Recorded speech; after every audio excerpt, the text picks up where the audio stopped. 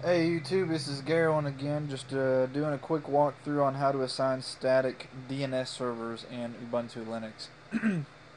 Got a question about this on one of the forums, and uh, I found a walkthrough, but it was talking about how to use IF up down to do it in the command line, and I figured I would demonstrate how to do it via the GUI, because that's why we have a GUI. Uh, this should apply to GNOME 2 as well, since it uses the GNOME Network Manager just the same. Uh, anyway, you can see I'm connected via wireless.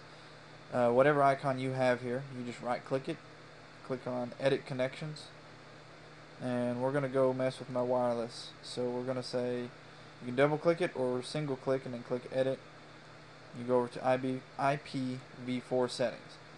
Now you see this box down here that says additional DNS servers. We don't want to mess with that because those are in addition to the DNS servers that it's already using based on the information it got from your DHCP server. So, if you put the DNS servers that you want to use in here and then just hit save and leave this as it is, it will only use these DNS servers if the DNS servers it's already using don't know how to resolve the address that that the computer's looking for. So, to use only the DNS servers that you want to assign, you're going to change method to automatic DHCP addresses only and you see that this changes from additional to just DNS servers.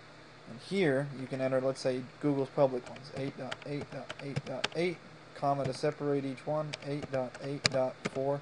And you notice if you don't have it typed in correctly, the save button's grayed out. Once you have a complete address typed in there properly, save button will light up. So you hit save.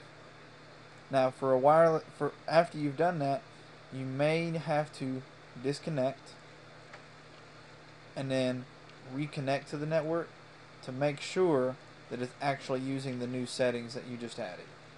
So I'll walk back through it again and remove them just so you can see where it's at, where you right clicked, edit connections. Select the connection you want to edit if it's your wired one. Looks just the same. I mean a little bit different because of the way it connects.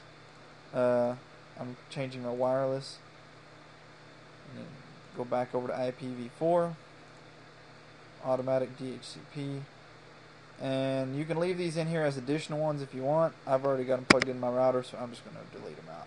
Save, close, and that is how you assign static DNS servers in uh, Ubuntu or any Linux distribution that uses the GNOME Network Manager. So I hope this helps somebody out.